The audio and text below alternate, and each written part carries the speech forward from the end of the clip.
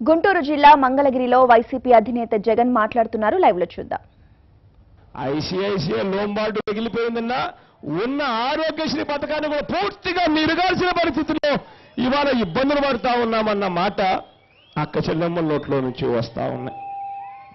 ఇదే పెద్ద మనిషి ముఖ్యమంత్రిగా పరిపాలన చేస్తా ఉన్నాడు. ఒకసారి ఆలోచన చేయమని అడుగుతా ఉన్నా ఈ నాలుగు సంవత్సరాల పరిపాలన ఎలా జరుగుతా ఉందని. ఒక్కసారి మన గుండెల మీద మనం చేతులు వేసుకొని ఆలోచన చేయమని అడుగుతా ఉన్నా.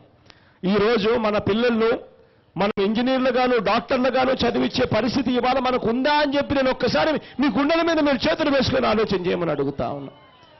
కారణం ఏంటంటే ఇంజనీరింగ్ ఫీజులు చూస్తే లక్ష రూపాయల పైన దాటుతా ఉన్నాయి. ప్రభుత్వం తరపున ఫీజు రీఎంబర్స్మెంట్ ఎంత ఇస్తా ఉన్నారు అని అంటే ముష్టేసినట్టు ముప్పై ముప్పై ఐదు వేల రూపాయలు.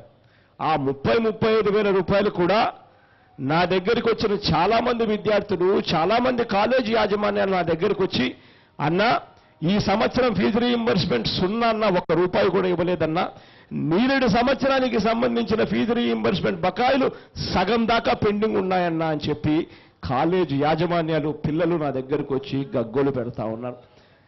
లక్ష రూపాయలు ఇంజనీరింగ్ ఫీజులు దాటుతా ఉంటే ఇచ్చే ముప్పై ముప్పై ఐదు వేల రూపాయలు కూడా సరిగ్గా ఇవ్వకపోతే ప్రతి పేదవాడు ఇవాళ తన పిల్లలను ఇంజనీరింగ్ గాను డాక్టర్ గాను చదివించే పరిస్థితి రావాలి అని అంటే సంవత్సరానికి అరవై ఐదు వేల రూపాయలు డెబ్బై వేల రూపాయలు ప్రతి సంవత్సరం కట్టాలి అని అంటే ఇంజనీరింగ్ కోర్స్ అయిపోయేసరికి మూడు లక్షల రూపాయలు కట్టాలి అని అంటే ఆ పేదవాడు ఏ రకంగా ఖర్చు చేయగలుగుతాడు? ఏ రకంగా తేగలుగుతాడు?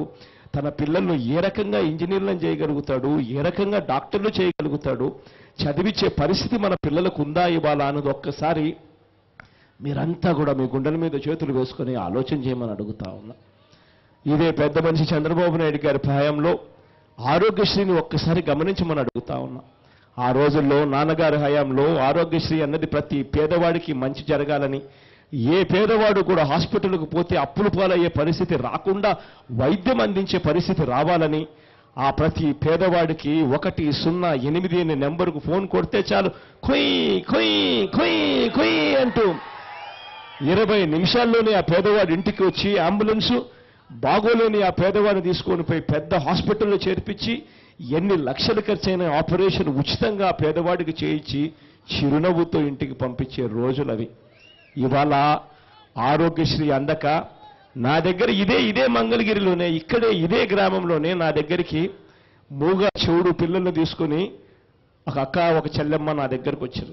అన్న నా కూతురుకు మూగా చెవుడు ఉన్న ఆపరేషన్ చేయించాలనంటే ఆరేడు లక్షల రూపాయలు ఖర్చు అవుతుందన్నా ఆరోగ్యశ్రీ దగ్గరికి తీసుకొని పోతే మేము చెయ్యంపు అని చెప్తా ఉన్నామన్నా అని చెప్తా ఉంటే ఆరేడు లక్షల రూపాయలు ఖర్చు చేసి ఆ మూగ చెవుడు పిల్ల పాపకు ఆపరేషన్ చేయించకపోతే ఆ తల్లి ఆ కూతురు జీవితం అంతా కూడా మూగ చెవుడుతోనే బతకాల్సిన పరిస్థితిలో చూడలేక నా దగ్గరికి తీసుకొచ్చిన పరిస్థితి ఇవాళ ఇదే మంగళగిరిలోనే నేను గమనించాను.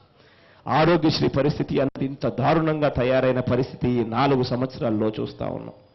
ఇవాళ నేను ఒక్కసారి మిమ్మల్ని అందరినీ కూడా నేను ఆలోచన చేయమని అడుగుతా ఉన్నాను ఈ నాలుగు సంవత్సరాల ఇదే పెద్ద మనిషి చంద్రబాబు నాయుడు గారి హయాంలో ఇంతటి దారుణమైన పాలన ఇవాళ మనం చూసిన తర్వాత సంవత్సరంలో ఎన్నికలు జరగబోతా ఉన్నాయి అని చెప్పి తెలిసిన నేపథ్యంలో ఒక్కసారి ఆలోచన చేయమని అడుగుతా ఉన్నా.